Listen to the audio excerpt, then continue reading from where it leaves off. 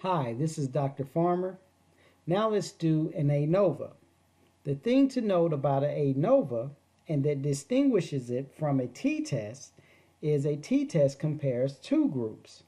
An ANOVA allows you to compare more than two groups, three, four, five, etc.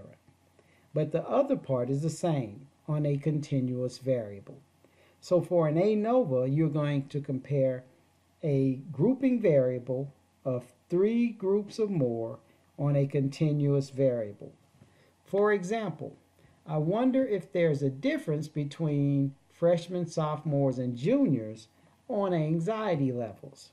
Hmm, let's test that hypothesis. To do this, you go to Analyze, Compare Means, One Way ANOVA. Very simple ANOVA. There, it's also important to know that there are a lot of different ways to do this as in any um, program. So I'm showing you the basic ways to do these things.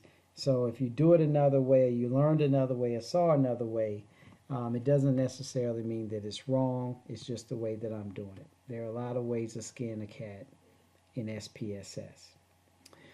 So our dependent variable is general anxiety, so we're going to put that up top.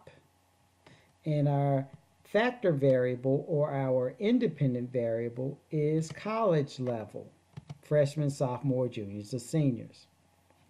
Here we want to go up and we want to look at not contrast. We want to do post hoc.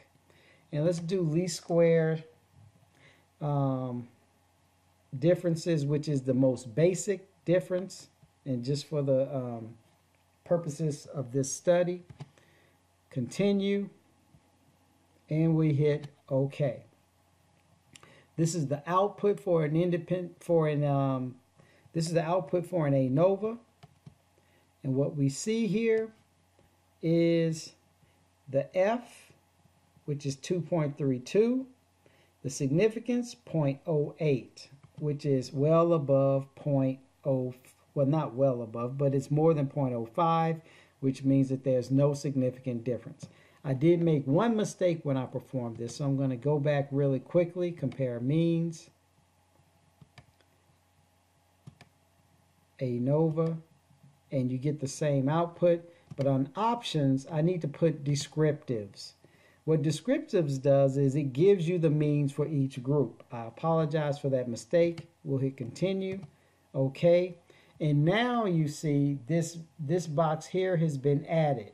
So it tells us what the mean of freshmen, sophomore, juniors, and seniors were on the measure of general anxiety. And we see that seniors had lower anxiety at 35 than juniors who had 40, sophomores who had 48, and freshmen who had 46. So it looks like the younger you are, the more anxiety you have, except for the freshmen who started, who have a you know, a little lower, a little lower than sophomores.